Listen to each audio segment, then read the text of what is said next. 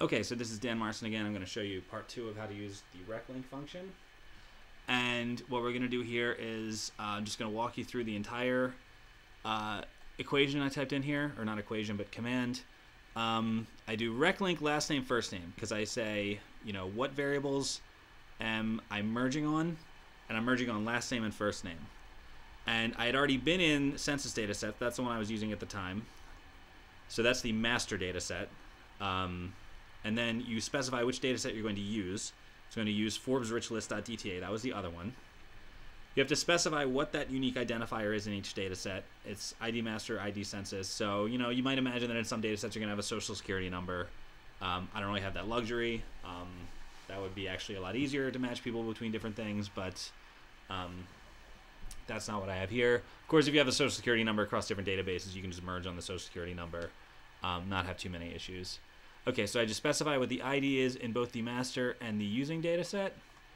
Okay, this required last name one, that is because I'm actually requiring that the last name be exactly the same in both the master and the using data set. Okay, so if I just wanted to come up with some level of closeness between the two strings, um, you know, like the last name could be a little bit off and the first name could be a little bit off, that would be one thing. I'm actually just requiring that the last name be exactly the same and then all the fuzziness just be in the first name.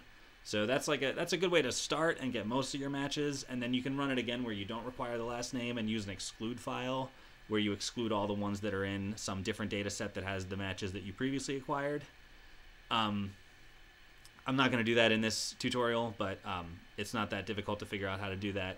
If you wanted to do that, you know, you can just uh, drop everything or just keep everything if it has the merge score equal to three and then save that as a data set and then run this again and exclude that data set that you just made. Um, it's something you do if you if you run a lot of um, iterations of this and you get um, you know a lot of different sets of matches and you never want to look over the ones you've already found before.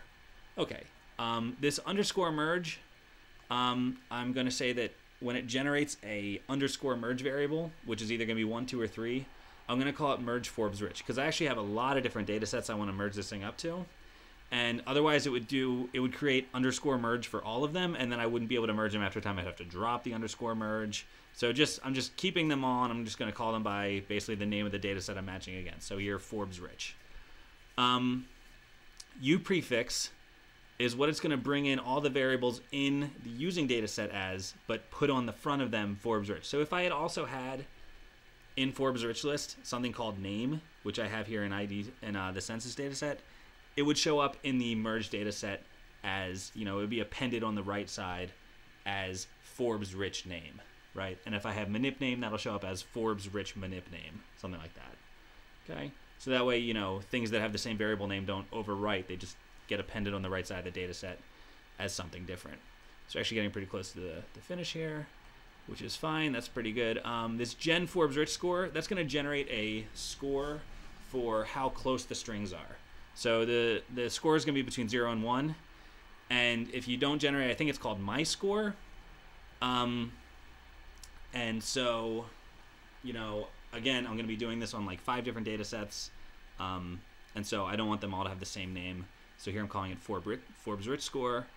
And then min score here is if you don't specify that minimum, it will match if the score of closeness that it computes is 0.6. So anywhere between 0.6 and 1. I think that's too low for what I'm trying to do. So I set it to be 0.9. I mean, there's no perfect number because, you know, sometimes you'll have RB Mellon and you want to match it to Richard B. Mellon. And that's just like, you know, ICHARD is a long way off from a period, so the closeness score might not be too high there, but you know that they're the same person. But if you set it too low, then you know Henry Ford is going to get matched to Edsel Ford, and you don't want that. So um, that's uh, that's basically the entire command. It gets a little bit more complicated if you iterate this and you add an exclude file. But anyway, um, it's actually just finished, and it's going to pump out um, this thing here. So it says that they've matched 36 of the master cases. Um, that's kind of actually a problem because there's only 31 entries in the Forbes Rich list. So how's it matching 36 of them? What it does, it'll actually find, um, it goes down the entire master data set and it tries to find anything in the using data set that results in the highest possible score.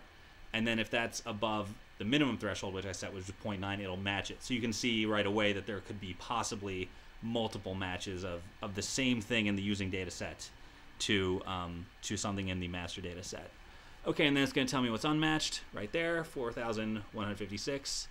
And if I look through this, it's actually going to keep the same order as I had before. Um, um, and so, um, actually, no, it keeps the same order as the Forbes Rich list. And so what I see here is that, you know, number four, George F. Baker, is showing up a lot of times, but George F. Baker is only one of these people. And, you know, um, you know, it might be this one, or it might be the trust of George F. Baker. This is kind of a judgment call you have to make. Um, it could be neither. You know, if George F. Baker is dead, then um, who's it going to be?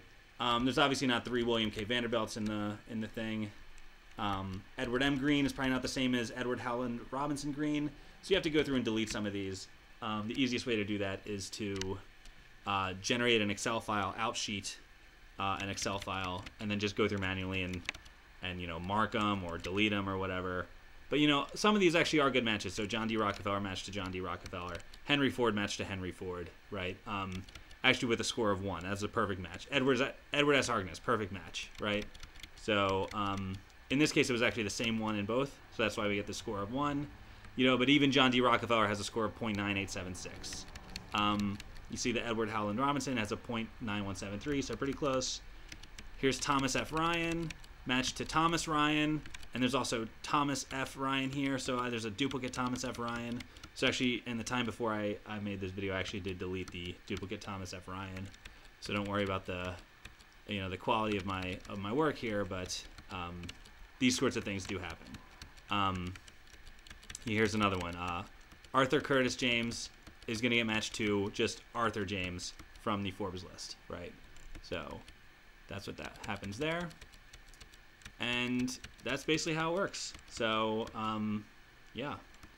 Um, and I may have misspoke earlier. Um, you can see here that the last name is showing up as Forbes last name, and the first name is showing up as Forbes Rich first name. Or actually, Forbes Rich last name, Forbes Rich first name. Those were the variables that used to be um, in the using data set and had um, they have the U prefix attached onto them. So it's only attached to the ones that you're matching on that have the same name originally.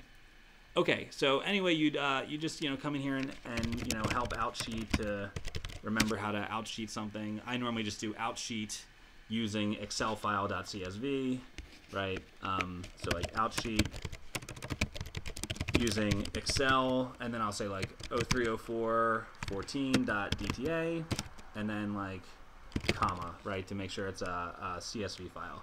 And then you do that, and then it'll come out with a um, CSV file for you to just go through and delete in Excel all the ones that are false. And then you can keep the ones with a merge score of three.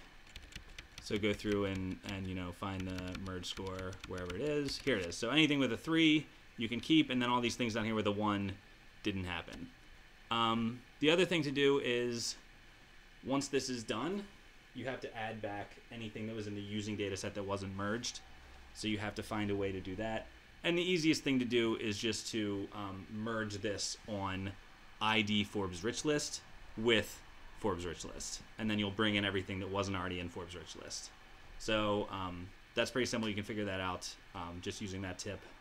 And if you have any questions, send me an email. But otherwise, I think you're all set to go. So good luck with that.